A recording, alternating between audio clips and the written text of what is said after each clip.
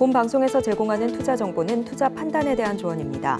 방송에서 제공하는 주식의 가치, 가격 상승 및 하락에 대해서는 방송사에서 보장하지 않습니다. 안녕하세요. 신들의 매매 신호 박수연입니다. 오늘 코스피와 코스닥은 동반 약세 흐름을 보였습니다. 뚜렷한 모멘텀이 좀 부재한 가운데 시가총액 상위 종목들도 부진한 흐름을 보여줬는데요. 이번 주 후반에는 여러 지표들의 발표도 있고 이 파월 의장의 연설 등 우리가 넘어야 할 이벤트들이 굉장히 많이 집중되어 있습니다. 하지만 아무리 많은 허들이라도 저희가 쉽게 넘어설 수 있도록 정말 전략들 꼼꼼하게 준비했으니까요. 끝까지 함께 해주시고요. 월요일 신들의 매매 신 호는 윤삼을 전문가님과 함께합니다.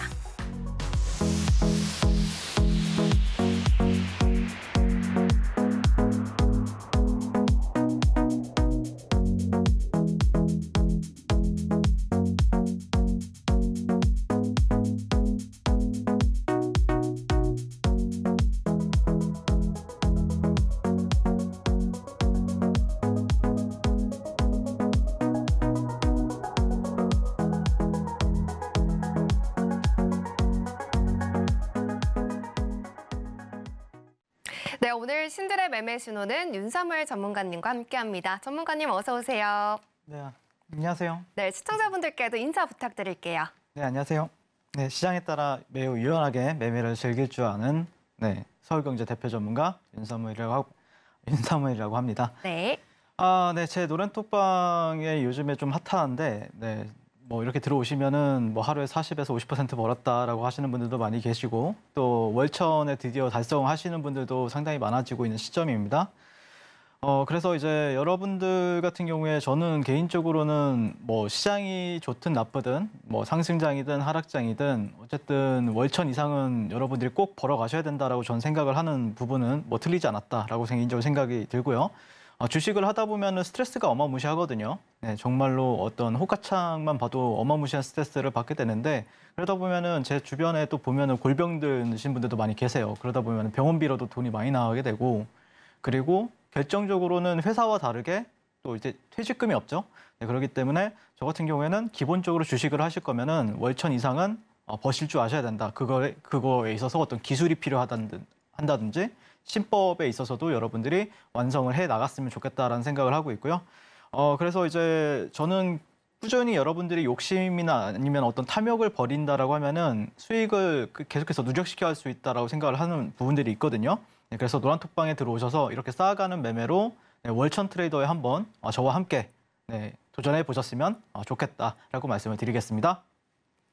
네, 올가을 지수가 오르기는 했지만 막상 나는 수익을 내지 못해서 스트레스가 정말 많다 하시는 분들 많으실 것 같은데요.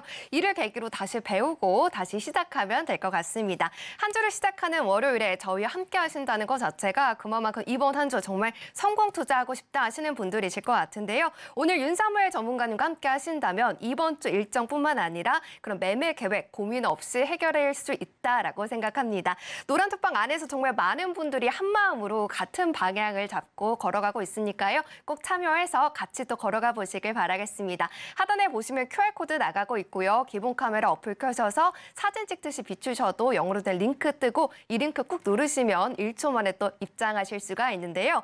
또 이 방법 좀 어렵다 하시는 분들은 문자 샵 0082번으로 우리 윤사무엘 전문가님 성함 적어서 보내주셔도 입장하실 수가 있습니다. 자, 그러면 이제 노란 톡방 안에서 어떤 수익을 또 내주고 계시는지 궁금하실 것 같은데요. 전문가님, 지난주 금요일에 우리 hidden 종목을 받아봤었는데 이 hidden 종목이 오늘도 상한가를 터치하는 등 정말 수익이 좋다라고 들었습니다. 오늘 이런 hidden 종목 함께 해서 노란 톡방에서 수익률 좀 말씀을 좀 해주실 수 있으실까요? 아, 그럼요. 네. 일단 뭐 저 제가 여지 지금 이 신들의 매매 신호에 나온 게 11월 마지막 주였죠. 네, 그 뒤로 이제 여러 종목을 또 hidden 종목으로 말씀을 드렸었는데 한 종목 제가 첫날 방송에 나왔을 때 말씀드렸던 게 포스코 DX였는데 그 종목 제외하고는 다 멋지게 큰 상승을 보여준 보여주었습니다.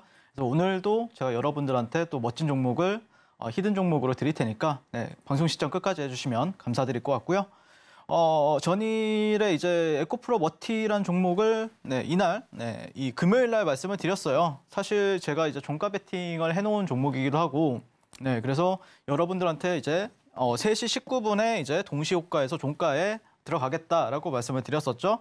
네, 그리고 뭐 밑에 보시면 두산 같은 경우에 두산 로보틱스를 뜻하겠죠. 네, 두산 로보틱스 같은 경우에도 제가 지난주 방송에서도 말씀을 드렸지만 종가 베팅을 했었다라고 말씀을 드렸었는데 그래서 뭐 두산 로보틱스도 제가 hidden 종목으로 말씀드렸던 종목이고 네, 에코프로 같은 에코프로 머티 같은 경우에도 최근에 제가 계속해서 거래를 했던 종목이다라고 말씀을 드리고 싶습니다. 그래서 오늘 네, 보시면은 네, 상한가를 터치를 한 모습을 볼 수가 있죠. 그래서 사실 이 종목을 오늘 어떻게 거래를 했는지에 대해서 간단하게 설명을 드리게 되면은 이게 5분봉이에요. 네, 5분봉. 네, 에코프로 머티가 신규 상장하는 날 이후에 1월 11월 17일 날 상장을 했었죠. 그리고 나서 오늘까지 저는 에코프로 머티를 매일 매일 거래를 했습니다. 보시면 신규 상장 첫날에 이렇게 네, 이 눌림목에서 사가지고 이렇게 네, 갔다라고 하면은 약 40% 정도 가량 올라간 모습을 볼 수가 있고요. 자, 이 구간에서 또 눌렸을 때 또 매수하는 모습을 볼 수가 있죠. 네, 이 저점을 제가 땄습니다. 네, 그리고 나서 다시 한 번 더 올라갈 때 이게 좀 짧아 보여도 이게 한 7에서 8%가 돼요. 자, 그리고 나서 이 구간에서 다시 한 번 더 매수하는 모습을 볼 수가 있고 또 상따까지 하는 모습을 볼 수가 있죠. 그 다음날 네, 갭이 뭐 한 15%가 떴었던 걸로 기억을 합니다. 그러면서 어마무시한 수익을 줬었던 걸로 기억을 하고요. 그 다음에 다시 한 번 더 이런 구간에서 매수를 해가지고 또 올라갈 때 매도하고 그다음에 여기서 또 다시 한 번 더 상따를 해가지고 다음날 또 올라가는 흐름에 있어서 매도하는 모습을 볼 수가 있습니다. 자 그리고 나서 제가 이제 어, 타 방송사에서도 그랬었고 노란톡방에서도 말씀을 드렸었던 게 만약에 에코프로머티가 음봉이 나온다라고 하면은 저는 무조건 매수를 하겠다 종가 베팅으로 말씀을 드렸었죠. 그리고 나서 이게 음봉이에요. 네, 5분봉에서 음봉이 나왔었고 아, 1봉에서 음봉이 나왔었고 5분봉에서 이렇게 쭉 빠지는 흐름이죠.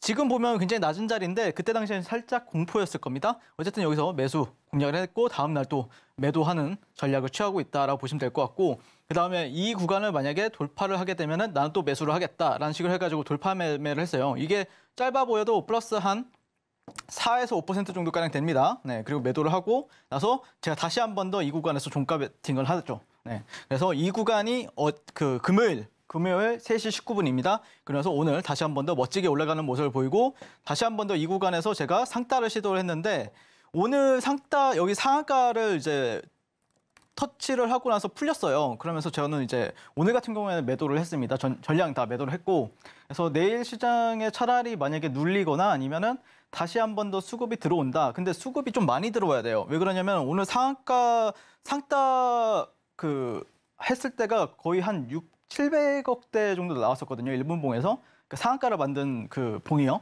그러면은 그 이상이 터져야 되는데 과연 그 이상 터질 수 있을까에 대한 좀 의문이 생기면서 차라리 다시 한 번 더 확인하고 나서 공략하자라고 생각이 들어가지고 지금은 현재는 에코프로 머티 같은 경우에는 어, 오랜만에 보유하지, 보유하고 있지 않다라고 말씀을 드리고 싶습니다. 자, 어쨌든 에코프로 머티 같은 경우에는 제가 볼 때는 어, 내일도 분명히 변동성이 나올 거거든요. 네, 그래서 뭐 눌리거나 아니면은 뭐 재차 돌파하는 흐름에 있어서는 저는 다시 trading을 할 생각이니까 에코프로 머티를 같이 trading하고 계시, trading하고 싶으신 분들은 예, 제가 운영하는 노란톡방 네, 입장해 주시면 좋을 것 같고요. 자, 그다음에 이제 어, 이런 식으로 이제 에코프로 머티의 타점을 인증해 주신 분들이 상당히 많았습니다. 네, 첫째 날이다라 보시면 될 것 같고 이후에도 또 엄청나게 많은 수익 인증을 저한테 주신 분들이 계시지만 네, 그거는 그냥 넘어가도록 하겠습니다.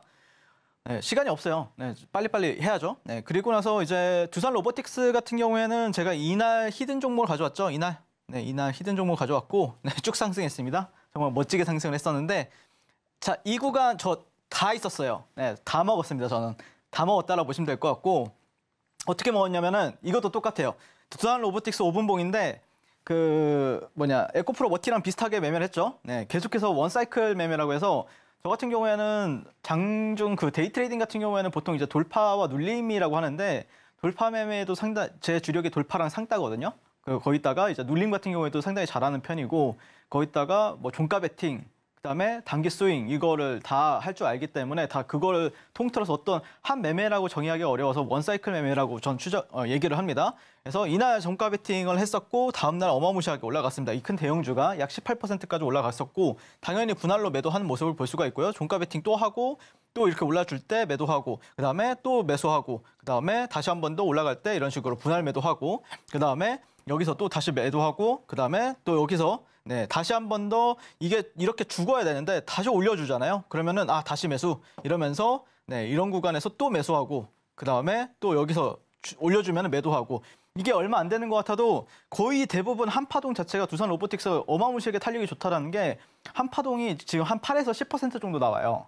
네, 그러면은 이 큰 대형주 가지고 8에서 10%를 먹기가 굉장히 어려운데 1% 먹기도 상당히 어렵잖아요. 대형주들 같은 경우에는. 근데 그만큼 변동성이 좋다 보니까 요즘에는 저는 이 두산 로보틱스 가지고 거의 매일 같이 요리를 하고 있다라고 보시면 될 것 같고 제가 지난주 그 방송 금요일 방송에 나와 가지고 여러분들한테 말씀드렸잖아요. 저 예, 두산 로보틱스 종가 베팅 했다고. 그리고 오늘 또 올라갔죠. 자 여기에서 다 고점에서 매도했습니다. 저 같은 경우에는 그리고 나서 오늘 어떻게 됐을까요? 예, 저는 종가 베팅을 또 했습니다. 그래서 두산 로보틱스 뭐 관심 있으신 분들은 저는 종가 베팅을 했고 그다음에 뭐 내일 올라갈지 내려갈지는 모르겠지만 전 내, 내일 올라간다라고 봤겠죠. 네, 그렇기 때문에 올라간다라고 생각하시는 분들은 네. 제가 볼 때는 수요일 정도가 되면은 고점이 한번 나오지 않을까 싶어요. 그래서 내일까지는 저는 괜찮다라고 보고 있기 때문에 같이 매매하고 싶으신 분들은 지금 당장 네, QR 찍고 노란 톡방 입장하시면 되겠습니다. 자, 그다음에 뭐 최근에 이제 그린 리소스도 이제 금요일 날 상장을 해 가지고 또 멋지게 상승을 했었죠. 거의 뭐 제가 알기로는 뭐 크게 수익 나신 분들은 막 40%에서 70%까지도 수익이 나셨던데 뭐 저 같은 경우에는 끊어 먹었습니다.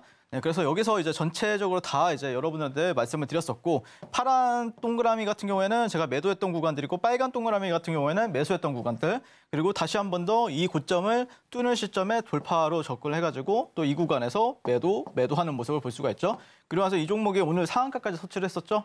네, 뭐 상한가 드신 분들 굉장히 수익 축하드리고요.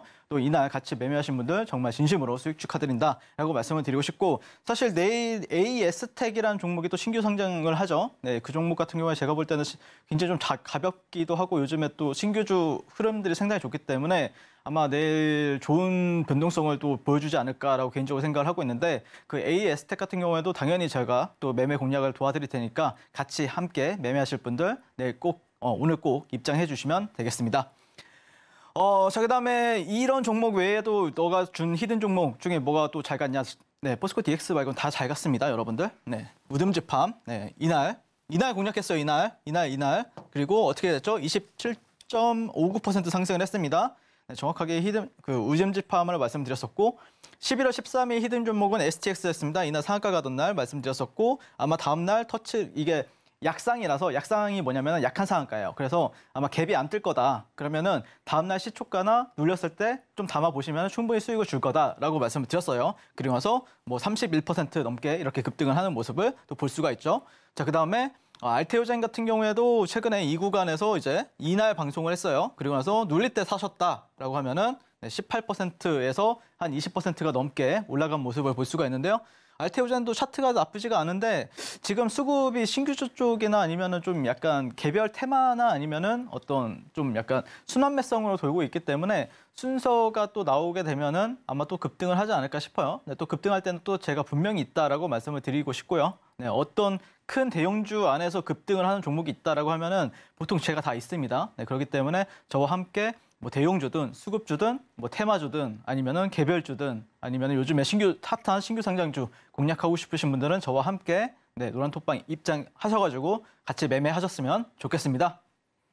네, 에코프로머트 같은 경우는 지난주 금요일에 히든 종목이었던 만큼 지금 바로 월요일 오늘 힘을 강하게 보여줬고요. 이렇게 상한가를 터치하는 이런 종목들 보고만 계시지 마시고 이제 내 계좌에 좀 옮겨가 보셨으면 좋겠습니다. 지금 내 계좌가 좀 움직이지 않고 있다 하시는 분들은 그럴수록 하루하루 좀 수익을 내는 종목들로 계좌를 움직여 보셔야 할 것 같은데요. 지금 우리 노란 톡방으로 들어오시면 기본 자료집뿐만 아니라 12월을 대비할 수 있는 12월 신규 주 수급 기법이라는 지금 시장에 맞는 이 트렌드에 맞는 자료집이 준비가 되어 있습니다. USB도 준비되어 있고요. 그리고 이메일로도 저희가 발송해 드리고 있으니까요. 지금 서둘러서 들어와 주셔서 이제 곧 시작되는 12월 시장에서는 어떻게 또 신규 상장주를 공략할 수 있을지 이러한 전략들 다 챙겨가 보시길 바라겠습니다. 이렇게 우리 윤사무엘 전문가님 따라가다 보시면요. 이렇게 뒷걸음치던 우리 계좌 다시금 또 앞으로 나아갈 수 있으니까 꼭 함께 따라가서 앞으로 나아가 보시 길 주시길 바라겠습니다.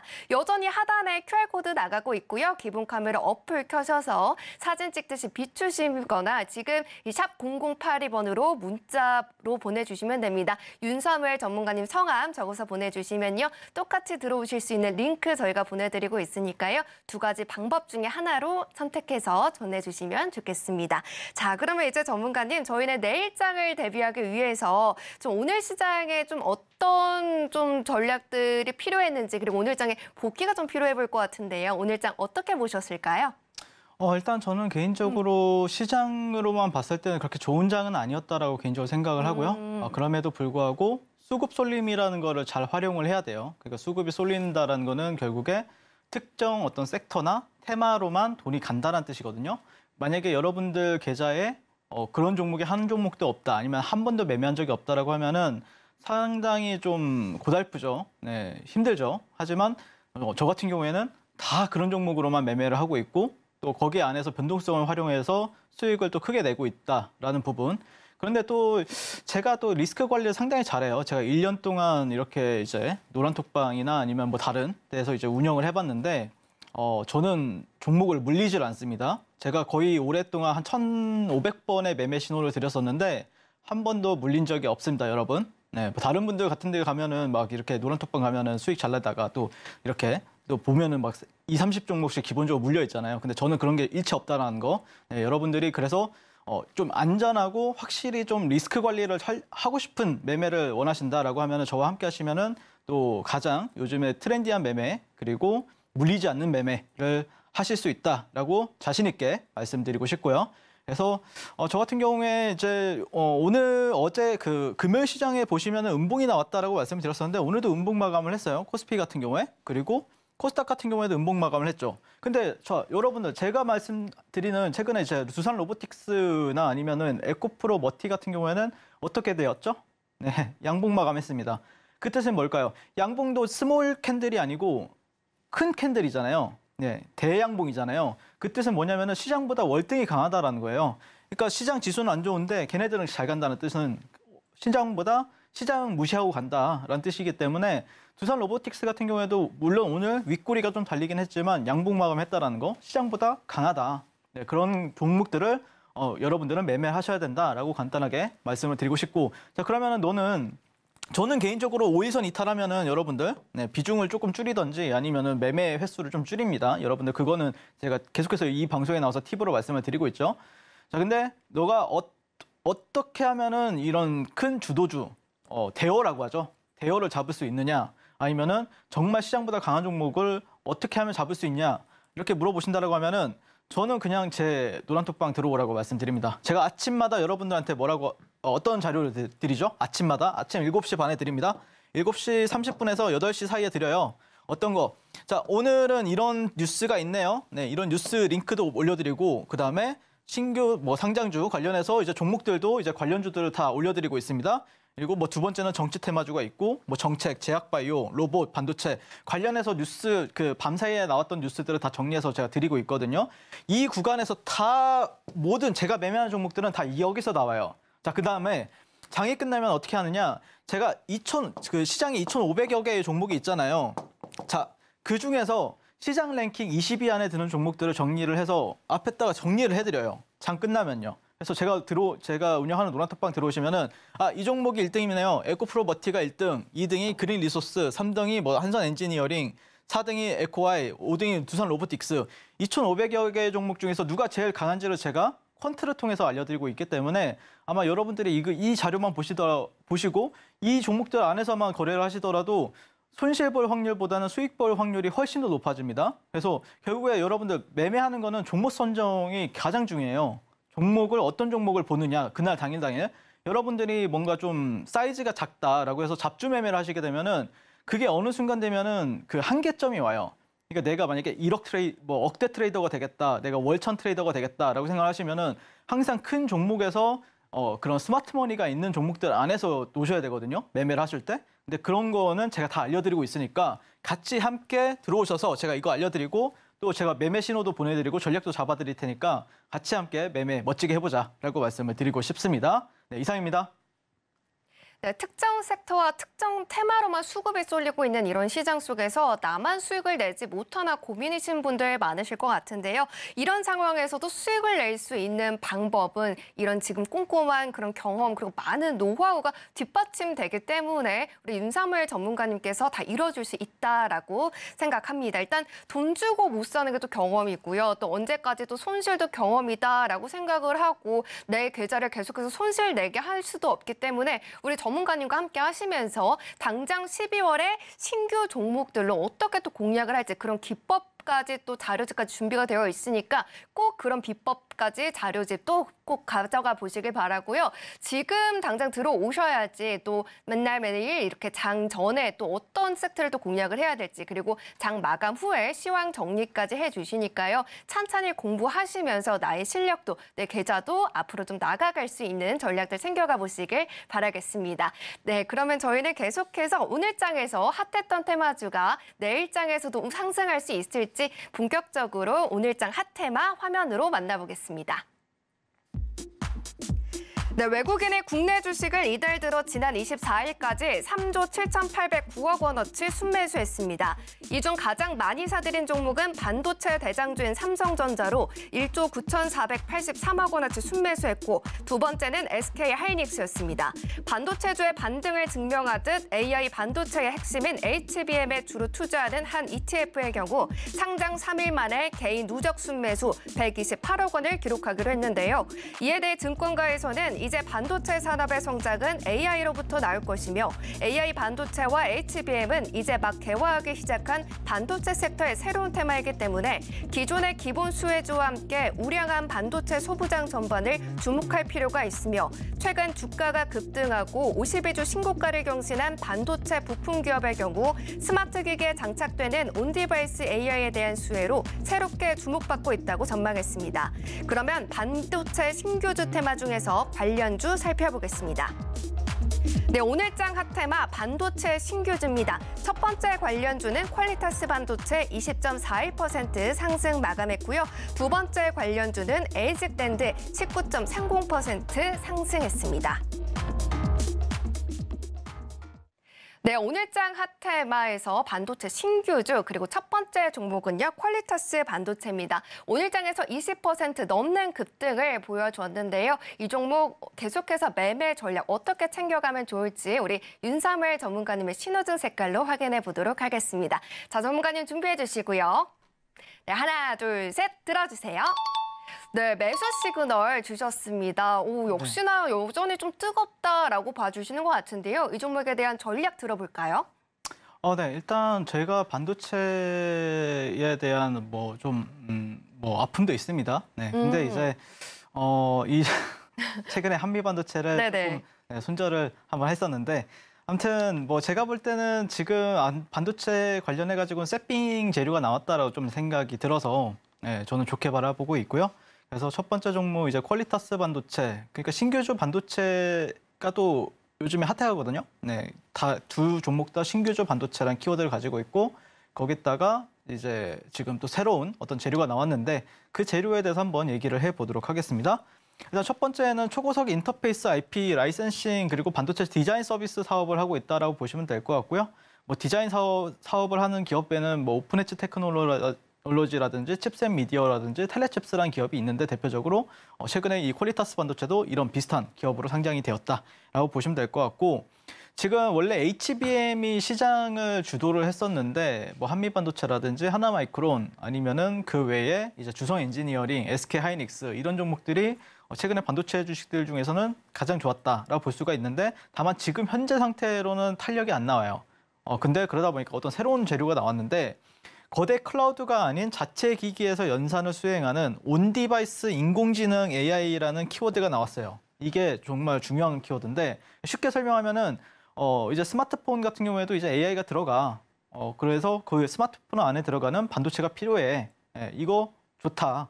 이렇게 얘기하는 겁니다. 그러니까 어렵게 생각하실 필요가 없어요. 그냥 좋대요. 네, 스마트폰 안에서 이제 AI를 할 수 있으니까 좋다. 예, 이런 키워드를 그냥 입력하고 계시면 돼요. 그래서 on-device AI 열풍을 확산할 device는 AI 이 스마트폰이 될 것이다 이런 식으로 이제 기사가 나오면서 이제 시장에서는 이제 증권사 레포트도 상당히 많이 나왔고요. 그러면서 오늘 같은 경우에는 신규주 반도체주들 중에서는 어, 퀄리타스 반도체가 어, 대장 역할을 했었다라고 볼 수가 있습니다. 등락률로 봤을 때는 이미지스란 종목이 좀 1등을 하긴 했으나 제가 볼 때는 어느 정도 좀 의미 있는 거래 대금이라든지 등락률로 봤을 때는 퀄리타스 반도체가 어쨌든 오늘 상한가를 터치를 했기 때문에 어, 개인적으로 좋게 바라보고 있는 부분이 있고요. 그다음에 round figure라기보다는 저항대가 24,500원 정도가 되는데 그 구간을 오늘 돌파를 했다. 네, 장대 양봉으로 네, 거래 대금을 동반해서 그래서 제가 느끼기에는 그러니까 뭐 감히 말씀드리는데 아직까지 확신은 아니지만 어쨌든 그런 가능성을 열어두고 있다 정도라면 여러분들이 생각하시면 되는데 느낌이 어떠냐면은 어 작년 아니 올해 2월 달이죠. 1월 달 2월 달에 그 코난 테크놀로지라든지 솔트룩스 AI 그 챗 GPT 관련해 가지고 뉴스 그런 뉴스를 달면서 올라갔던 종목들이 있잖아요. 약간 그런 종목들 느낌이 나요. 네, 그래서 좀 잘 볼 필요가 있다 라고 생각이 들어가지고 어, 이 종목들이 어쨌든 오늘 같은 경우에는 상당히 큰 어, 시장이 안 좋음에도 불구하고 상당히 큰 그리고 신규주라는 거 신규주들 같은 경우에는 또 많은 종목들이 또 증거금 100%가 아니잖아요. 네, 증거금이 낮잖아요. 증거금률이 40%, 45%뭐 키움증권에서는 그런 상황이니까 또 이제 뭐 당연히 미수나 신용을 쓸 수 있는 자금들이 있는 거죠. 네, 그렇기 때문에 이 종목들을 우리가 좀 잘 지켜볼 필요가 있다라고 말씀을 드리고 싶고 또 퀄리타스 반도체 네, 흐름 궁금하신 분들 같은 경우에는 어, 지금 제가 운영하는 노란톡방 들어오셔가지고 어떤 흐름이 나올지 같이 확인하시면 좋을 것 같습니다. 네, 지금 바로 네, 노란톡방 QR 찍고 네, 당장 입장하시면 되겠습니다. 네, 첫 번째 종목은 퀄리타스 반도체였습니다. 매수로 의견 정리해 보도록 하고요. 지금 가장 주목받고 있는 지금 on-device 인공지능을 모멘텀으로 가지고 있기 때문에 꼭 우리 전문가님과 함께 공략을 해보시면 좋겠습니다. 어떻게 공략해야 될지 나는 감이 전혀 오지 않는다 하시는 분들은 걱정하지 마시고요. 앞에 계속해서 QR코드 나가고 있으니까 방송 끝나기 전까지 언제든지 활짝 열려 있습니다. QR코드 찍고 바로 1초 만에 입장해 주시면 되겠습니다. 네, 그럼 저희 저희는 두 번째 종목도 알아봐야겠죠. 두 번째 종목은요. 반도체 신규주 투자 테마 안에서 에이직 랜드입니다. 오늘 19% 넘는 상승으로 마감을 해줬는데요. 이 종목의 매매 전략 오늘장에서 전문가님께서 어떻게 보고 또 분석을 해주셨을지 신호등 색깔 확인해 보도록 하겠습니다. 자, 전문가님 준비해 주시고요. 네, 하나, 둘, 셋 들어주세요.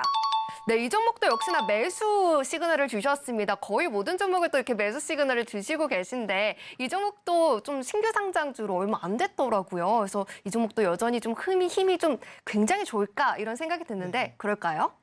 근데 제가 사실 네. 여러분들한테 핫 키워드 이런 종목들 가져오면은 네. 매수라고 얘기하면 다음날 잘 가잖아요. 네. 네 상당히 잘 갑니다, 네, 여러분들. 네. 그러니까 hidden 종목뿐만 아니라 제가 여기서 매수 이렇게 들면은 또 엄청 잘 갑니다, 여러분들. 이것도 잘 보시면 좋아요. 그래서 음. 뭐 hidden 종목만 보는 게 아니라 이런 종목들도 챙겨 보시면은 또 매수 타점에 들어왔을 때는 여러분들이 또 어, 여러분들이 좋아하는 타점에 들어왔을 때는 매매하시는 거를 저는 음. 추천을 드리고 있고요.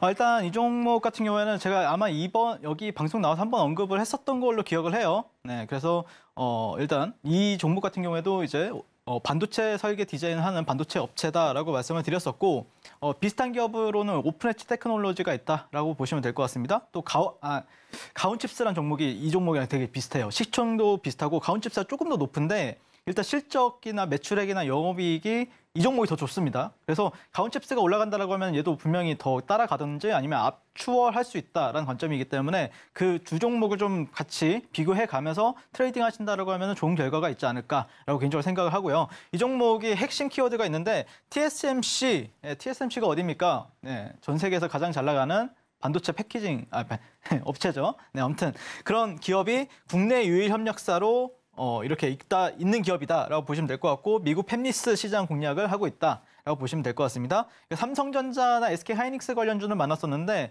사실 TSMC 관련주는 우리나라에 많이 없었어요. 근데 그런 종목이 최근에 신규주로 상장을 했다라는 부분 그리고 엔비디아 같은 경우에는 최근에 TSMC와 협력에 대해서 더욱더 적극적으로 논의를 하고 있다. 그리고 마이크로소프트나 아니면은 뭐 구글, 아마존 같은 경우에도 자체적으로 지금 AI 반도체를 개발하고 있고 만약에 그 개발하는 데 있어서 어 여기 이 TSMC가 가장 유력 후보로 이제 생산을 할 것으로 지금 예상이 되고 있거든요. 아마 그래서 TSMC 관련해서 뉴스가 나온다라고 하면은 아마 이 종목이 그런 모멘텀을 받을 수가 있으니까 여러분들이 에이직랜드는 계속해서 여러분들 포트에 보고 지켜보고 계셔야 된다라고 말씀을 드리고 싶고요.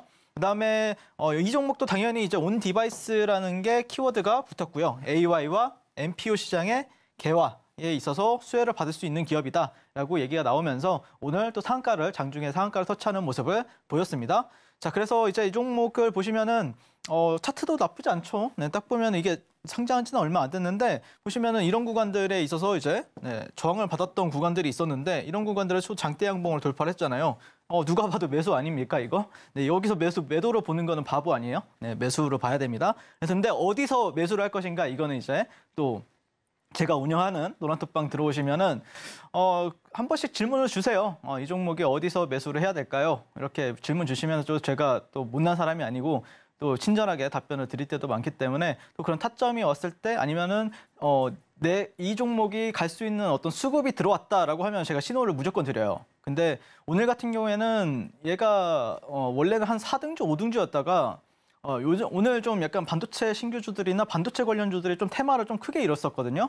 근데 계속해서 등수가 엎치락 뒤치락 하는 거예요. 그러니까 확실한 대장이 없었다는 거죠. 근데 어쨌든 장이 마감되니까 퀄리타스 반도체, 에이지랜드가 한 1, 2등주는 됐었다. 이 정도로 이제 여러분들 체크를 하면서 만약에 또 다른 어떤 확실한 수급이 들어오거나 어떤 새로운 재료가 나와주거나 모멘텀이 붙어준다라고 하면은 어, 제 타점 안에는 무조건 들어오겠죠. 네, 어떻게든 제가 잡아드릴 테니까 네, 제가 운영하는 노란톡방 어, 지금 들어오셔가지고 어, 지금 네, 반도체 신규주 같이 공략해봤으면 좋겠습니다.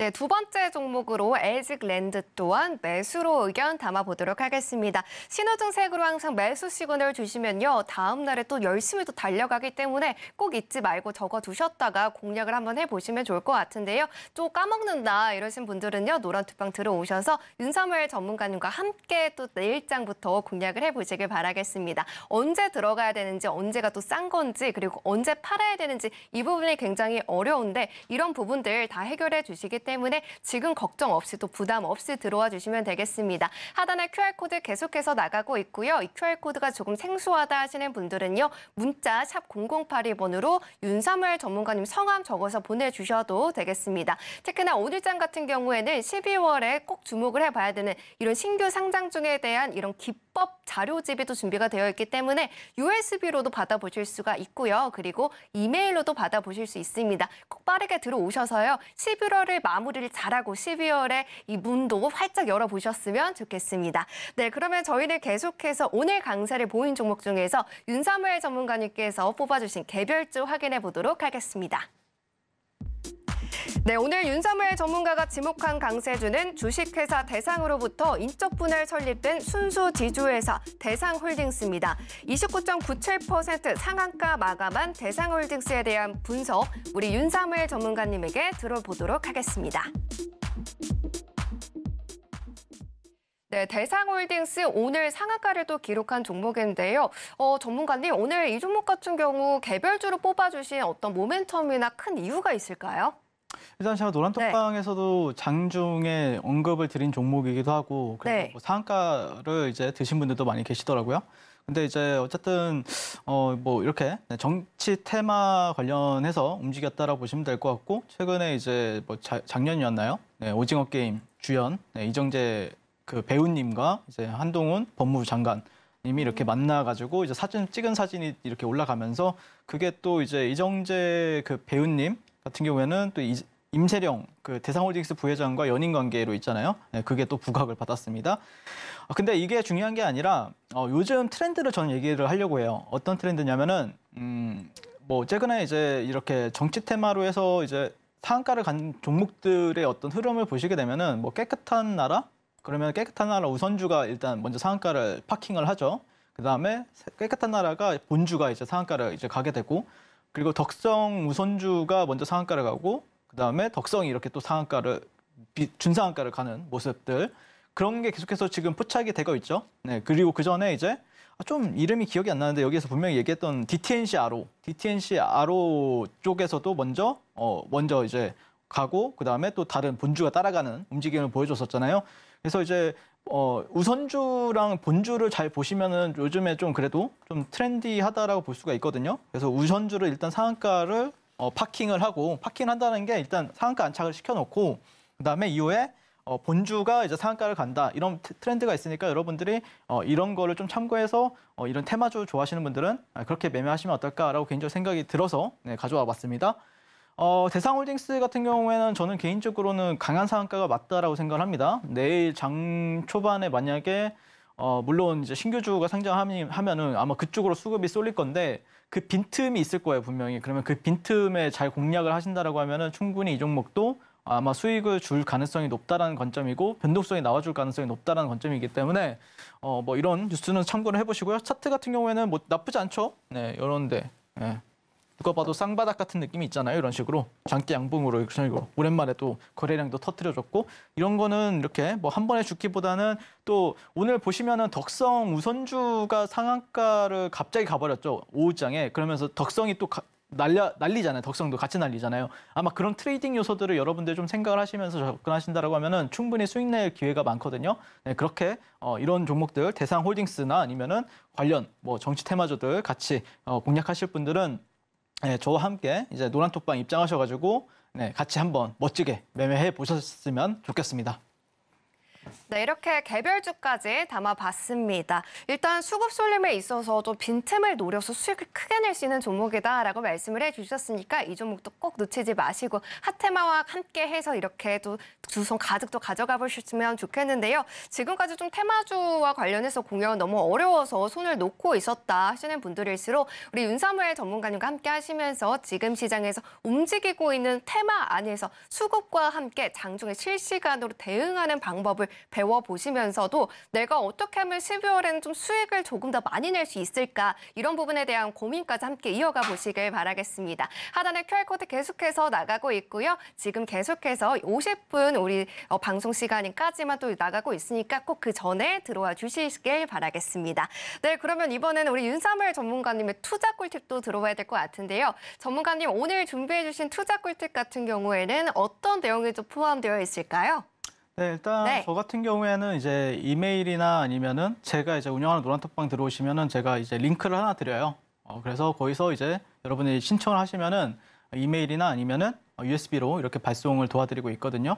그래서 요즘에 가장 핫한 게 이제 신규주잖아요. 그래서 시- 뭐 내일 같은 경우에는 AS텍이라는 종목 같은 경우에도 네, 신규 상장을 하고 또 어떤 뭐 스펙주들도 상장을 하죠.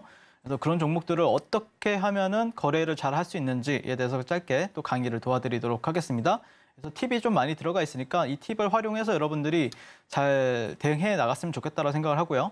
요즘에 그러니까 신규주 같은 경우에 여러분들이 좀 생각을 하실 게 어, 어떤 기업에 대해서 집중을 하시더라고요. 근데 기업에 집중을 하시면 안 돼요. 그러니까 신규주 같은 경우에는 당일 상장이 됐다. 그 뜻은 뭐냐면은 이벤트가 있다는 뜻이에요. 거기다가 이벤트가 있는데 그러면은 이 이벤트가 유효한지 아니면은 유효하지 않은지에 대해서 여러분들이 판단하셔야 되는데 그걸 뭘로 판단하느냐? 수급으로 판단하셔야 된다라고 말씀을 드리는 겁니다. 자, 그래서 38광 때 신규주 수급 매매는 간단합니다. 내가 원하는 패가 왔을 때만 여러분들이 진입을 하시면 돼요. 내가 원하지 않는 뭐 똥패가 들어왔는데 여러분들이 아무리 이렇게 게임을 해봐야 네, 절대 돈을 못 따잖아요.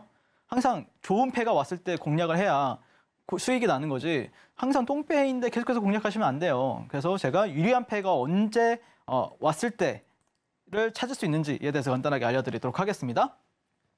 아, 보시면 에코프로 같은 경우에는 저 같은 경우에는 올해 한 150번 정도 가량을 매매를 했어요. 사실 어, 여러분들이 음, 뭐 에코프로를 뭐 고점에 뭐 물리신 분들도 계시고 하지만 저 같은 경우에는 뭐 지금은 뭐 에코프로를 따로 매매하고 있지 않지만 이렇게 탄력이 좋을 때 네, 텐베거를 갔잖아요. 어쨌든 올해 그러면은 이 텐베거를 계속해서 끼어 먹기로 해가지고 수익을 누적시켜 갔다라고 말씀드리고 싶고 최근에 에코프로 머티, 뭐 두산 로보틱스 이런 종목들이 지금 현재 어 약간 대형주 단에서는 수급주로 움직이고 있단 말이에요. 그런 종목을 제가 지금 굉장히 매매를 잘하고 있죠. 그 이유가 뭐겠습니까? 자, 이런 종목들에서 저는 경험을 엄청나게 많은 그러니까 수- 어 저는 이 주도주 매매를 거의 수천 번에서 만 번 가까이를 했어요. 그러다 보니까 얼마나 눈에 잘 보이겠어요. 이 움직임들이.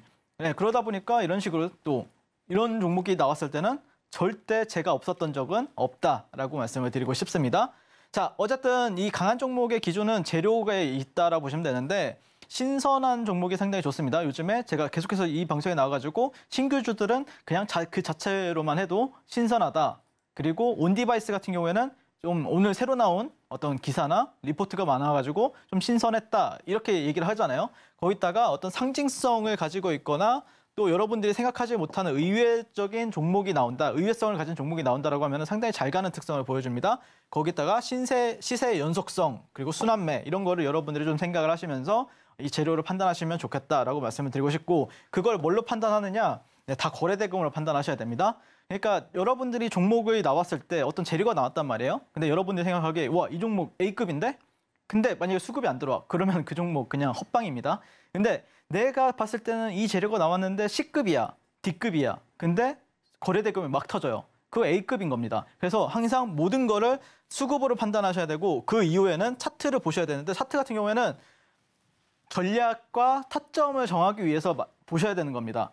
추세를 본다든지. 그래서 이 추세 같은 경우에도 보는 방법이 있어요. 추세는 저점과 고점이 올라가면 상승 추세고 저점과 고점이 내려가면 하락 추세입니다. 근데 그거를 한눈에 여러분들이 보실 수가 있다라고 하면요. 완전 신세계가 되겠죠? 자, 그래서 어떻게 판단하느냐? 38광땡 기법의 핵심 이론 같은 경우에는 이 38선이라는 게 있는데 이 38선이 뭐냐면은 피보나치 레벨의 38.2예요. 네, 그래서 보통 제가 어, 수, 거의 뭐 만번, 거- 만번 가까이 주도주 매매를 하다 보니까 뭐 상한가 가는 종목 아니면은 뭐 2차 VI를 가는 종목들만 매매를 했을 거 아닙니까? 자, 그러니까 보니까 보통 이런 식으로 이제 38선이 이 주가가 이 38선이 이탈하지 않고 잘 가는 게 주도주였던 거예요. 그래서 제가 38선 위에 있을 때만 공략을 한다라고 보시면 될 것 같고 그게 신규주 같은 경우에 38선이 없어요. 그러면 21선 위에 형성 시에만 매수 전략을 취하시면 된다라고 말씀을 드리고 싶습니다. 자 그리고 두 번째는 추세 지표 YSL 밴드인데 이 YSL 밴드가 뭐냐면은 제 이름 앞글자를 따가지고 윤사무 앞글자를 따서 YSL 밴드를 만들었는데 저점과 고점이 올라가는 이런 추세가 어떻게 어떤지를 한눈에 볼 수 있게 만들어진 지표다라고 보시면 될 것 같고 최근에 그리고 신규주들 같은 경우에는 이게 가장 중요한데 한 6분봉, 네, 뭐 3분봉 정도에서 6분봉 보시면은 시총의 한 5에서 10% 정도 거래량이 나오면은 상당히 잘 가요. 네, 그거를 여러분들이 좀 암기를 해 놓으시고 이제 새롭게 뭐, 이- 어, 뭐 이렇게 신규주로 상장하는 종목이 있으면은 그 관점으로 보시고 타점이 나왔을 때 공략을 하시면 된다라고 말씀을 드리고 싶습니다. 시총 5천억 이하의 종목이 또 확률이 상당히 높습니다. 네, 그래서 어떻게 이제 거래를 이제 했는지에 대해서 간단하게 설명을 드릴 건데 제가 그린 리소스를 이제 어 제가 아마 9시 초반에 이제 10분 전에 말씀을 드렸어요. 여러분들한테 이제 노란 톡방에서 말씀을 드렸었는데 이 6분봉에서 얼마 정도가 터지냐? 약 천억 원이 터져요. 이때 당시에 시가총액이 4천억인데 그러면 천억 원이면은 어 뭐 거의 한 20%가 되죠. 네, 그러면 좋잖아요. 네, 그래서 공략을 했던 겁니다. 여기 돌파할 때. 네, 돌파할 때 매수 하고 나서 올라가죠. 올라가죠.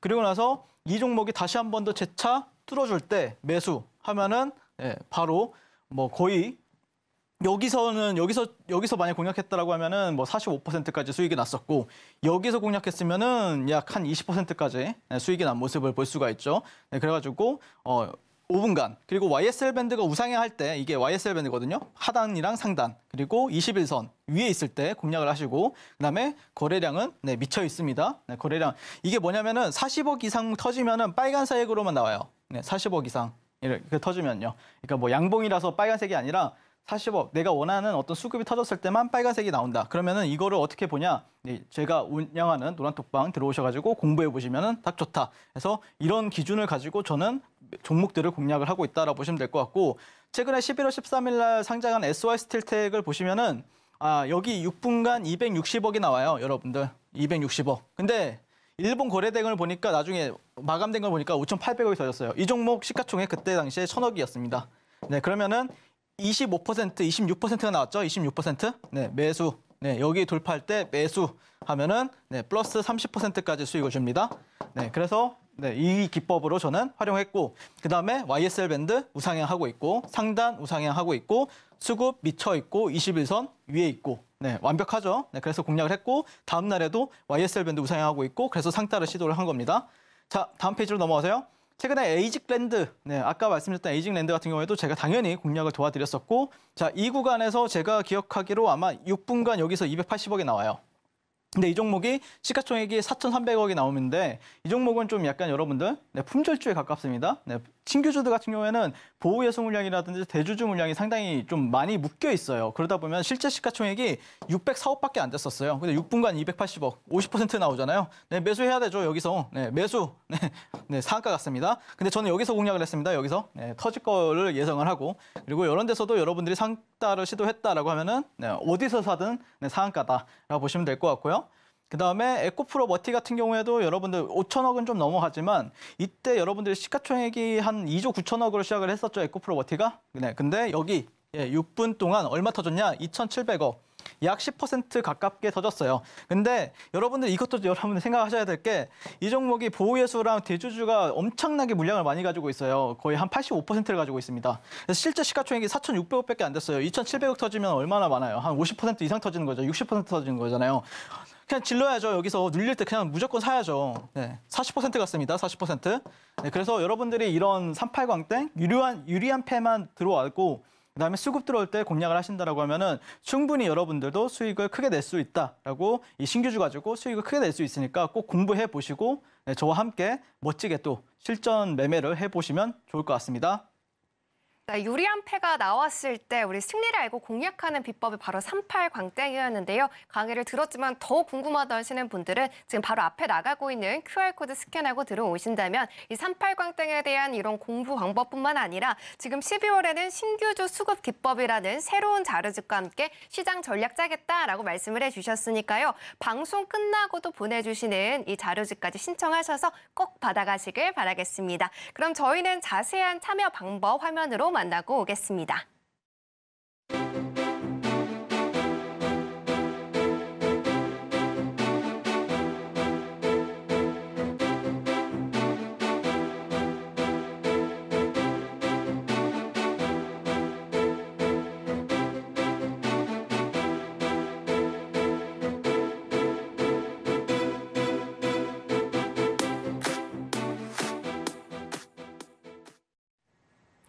네, 그러면 저희 hidden 종목을 바로 알아봐야 될 것 같은데요. 전문가님, 오늘의 hidden 종목은 어떤 종목일까요? 네, 일단 뭐, 뭐 저는 내일 시초가 예, 지르시면 되고요. 어, 일단 오늘 좀 가장 핫한 키워드가 붙었던 종목을 제가 말씀을 드릴 거예요. 네, 이 종목 같은 경우에는 on-device와 NPU 시장 개화의 최대 수혜라는 타이틀을 붙은 기업이다라고 보시면 될 것 같고 이 on-device AI는 PC, 스마트폰, VR 이런 기기에 AI 칩을 탑재해서 각 device에서 더욱 빠르게 AI 서비스를 이용할 수 있도록 하는 기술이다라고 말씀을 드리고 싶은데 이 종목이 궁금하시죠? 네, 칩스앤 미디어입니다. 네, 그래서 이 AI 칩용 라이센스 매출과 중국향 매출 비중이 급증을 하고 있는데 최근에 이제 중국 기업들이 엔비디아 GPU 수급이 굉장히 어려워졌잖아요. 미국에서 막으니까. 그러면서 대체 GPU를 개설하기 위해서 개발하기 위해서 이 칩스앤 미디어의 설계를 의뢰를 하고 있는 추세다라고 보시면 될 것 같습니다. 자, 그러면서 어떤 현상이 나왔느냐? 네, AI 칩용 라이센스 매출이 지금 현재 네, 엄청나게 급증을 하고 있고 그다음에 중국 매출 비중 급 같은 경우에도 상당히 크게 급증을 하고 있습니다. 그게 이제 차트로 또 이어지는 부분들이 있는데 한번 볼까요? 네, 보시면은 네, 어, 이 종목이 계속해서 지금 어, 역사적 신고가를 뚫어내고 있는 종목이다라고 보시면 될 것 같은데 이런 박스권을 지금 현재 돌파를 했고 사실 여기서 제가 이제 다른 방송사에서 아마 여기 자리들은 스윙으로 많이들 하실 것 같다라고 말씀드렸었는데 뭐 또 올라가 버렸습니다. 그래서 아, 지금이라도 늦지 않았다. 네, 이 종목 잡아야 될 것 같다라고 생각이 들어가지고 가져와 봤고요. 자, 이 종목이 조금 위험해 보일 수가 있는데 저는 월봉에 대해서 한번 얘기를 해보려고 합니다. 월봉을 보시면은 이 종목이 이제 월봉 로그 눈금이라고 있어요. 로그 눈금이 뭐냐라고 물어보신다고 하면은 여러분들이 그냥 각 증권사나 HTS, MTS에서 보는 게 선형 눈금 차트예요. 그건 가격을 기준으로 보는 건데 이 로그 눈금 같은 경우에는 퍼센테이지를 기준으로 보시, 보셔야 돼요. 그래서 로그 눈금으로 이제 바꾸는 방법이 있는데 그거는 제가 운영하는 노란톡방 들어오시면 제가 좀 친절하게 알려드릴 거고 그런 흐름에 있어서 월봉상 이런 저점과 저점 그리고 이런 고점과 이런 고점들을 연결하는 트렌드에 있어서 있어서 지지를 받고 방향성이 상방으로 나왔단 말이죠. 네, 그래서 지금은 제가 볼 때는 좀 가속하기 좋은 흐름이 나올 것 같다. 그리고 여기도 돌파를 해버렸어요. 그러면 저는 여기서는 네, 올라간다라고 생각을 하고 있습니다. 그래서 이 종목, 네, 저는 절대 늦지 않았다라고 말씀을 드리고 싶고 칩스앤 미디어 제가 볼 때는 더 간다라고 말씀을 드리고 싶습니다. 그래서 어, 내일부터 칩스앤 미디어 흐름 궁금하신 분들 같은 경우에는 노란톡방 들어오셔서 어떤 흐름이 나올지 같이 확인해 보시면 좋을 것 같고요. 지금 바로 노란톡방 네, QR 찍고 네, 바로 입장해 주시면 되겠습니다. 네, 오늘의 hidden 종목은요. 칩스앤 미디어였습니다. on-device AI 이 모멘텀에다가 계속해서 또 상승 출발을 할수 있는 가도에 서 있다라고 말씀을 해주셨으니까요. 꼭 우리 전문가님과 함께 하시면서 이 종목에 대한 공략법까지 철저하게 또 받아가 보시길 바라겠습니다. 그리고 또 지금은 계속해서 또 마지막 기회일 것 같습니다. 하단에 보시면 QR코드 나가고 있는데요. 이 QR코드 오늘 스캔하고 들어오신다면 12월에 어떻게 또 공략을 해야 될지 모르겠는 신규주 수급 기법에 대해서 새로운 전략 전략집을 또 꾸려놔 주셨다라고 말씀을 해주셨으니까요. 꼭 들어오셔서 신청을 해주신 다음에 방송 끝나고 또 주겠다라고 약속해 주셨으니까요. 잠시만 기다려 주시고요. 매일매일 2,500개의 종목 가운데에서 우리 5개의 종목 그리고 20개의 종목을 신 이렇게 또 주도주로 또 뽑아서 알려줘 주시기 때문에 매일매일 이런 수급까지 또 따라가 보시길 바라겠습니다. 네, 그러면 저희는 여기서 우리 전문가님 보내드리도록 해야 할 것 같은데요. 전문가님 오늘도 굉장히 너무나도 알찬 내용 감사합니다. 고생하셨습니다. 네. 네, 그럼 저희는 오늘의 핵심 확인해 보도록 하겠습니다. 네, 오늘의 핵심입니다. HBM과 on-device AI가 새로운 반도체 스타로 떠오르는 가운데 반도체 신규주인 퀄리타스 반도체 에이직랜드 매수 신호로 점검해 봤고요. 시장의 수혜를 받을 hidden 종목으로는 칩스앤미디어 담아봤습니다. 본 방송에서 제공하는 정보는 투자 판단을 위한 조언일 뿐 해당 종목의 상승과 하락을 또 보장하지는 않습니다. 끝으로 서울경제TV와 서울경제신문은 당사의 고유 브랜드입니다. 최근에 다양한 사칭 피해가 발생하고 있으니 각별히 유의해 주시길 바라겠습니다. 오늘 저희가 준비한 내용은 여기까지입니다. 시청해주신 여러분 고맙습니다.